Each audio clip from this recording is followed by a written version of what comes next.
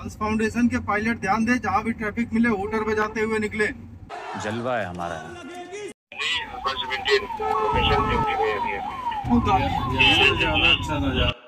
Hello tennis cricket twenty one के चाहने वालों कैसे हो? आप लोग उम्मीद करता हूँ आप लोग बढ़िया हो। प्रैक्टिस जल्दी ख़त्म करके निकल जाता हूँ मैं मैच खेलने के लिए।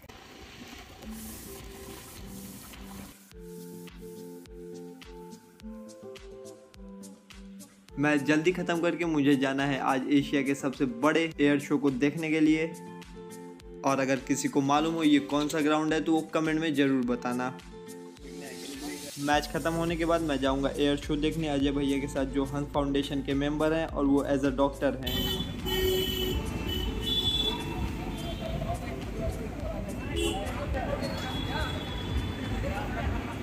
अभी मतलब सीमा ऑफ़िस से निकाल रहा हूँ मैं।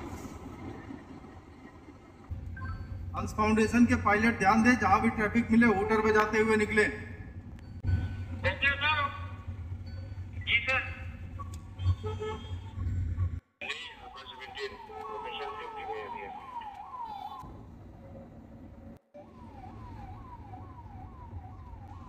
यहाँ पे काफ़ी दूर से लोग आए हुए रहते हैं और अपनी गाड़ियाँ लगा के अपनी जगह फिक्स कर लेते हैं क्योंकि आज बहुत भीड़ होने वाली थी इसलिए कोई इस मौके को छोड़ना नहीं चाहता था।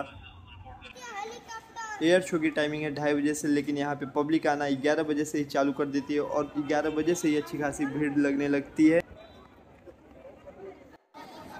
आधे घंटे में काफ़ी ज़्यादा पब्लिक आ जाती है और अभी भी शो स्टार्ट होने के लिए काफ़ी टाइम बचा है और पब्लिक अभी से इकट्ठा होना स्टार्ट कर देती है।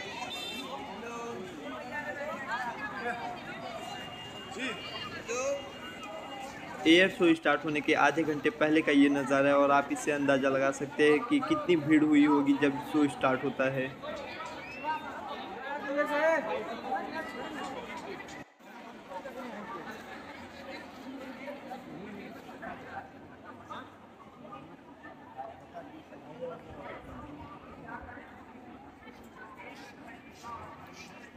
शो स्टार्ट होने में अभी भी 15-20 मिनट का टाइम था तो मैं लंच करके जल्दी से रेडी हो जाता हूँ शो देखने के लिए।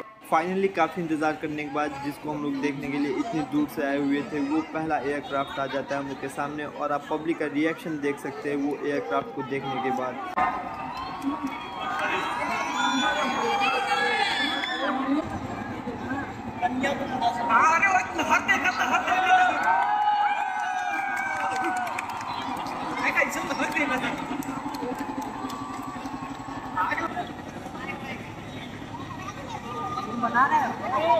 아.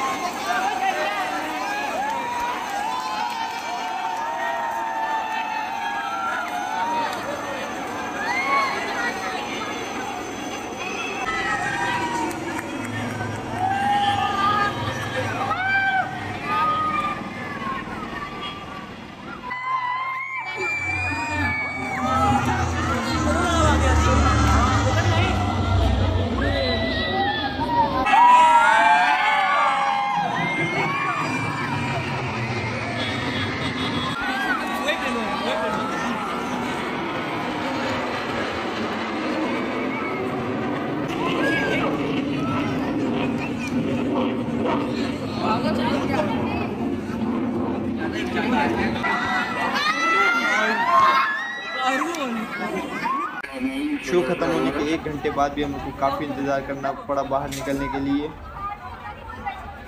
शो ख़त्म हो गया था साढ़े चार बजे, लेकिन हम लोग को लेप्रोसी तक आते आते सात बज गए।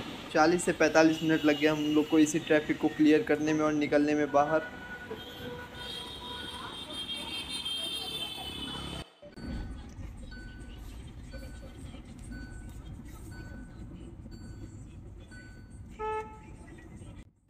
नौ बजे हम लोग पहुँचे सिविल लाइन्स और हम लोग को लगी थी काफ़ी भूख तो हम लोग बाटी चोखा खाने के लिए फैमिली रेस्टोरेंट में चले गए।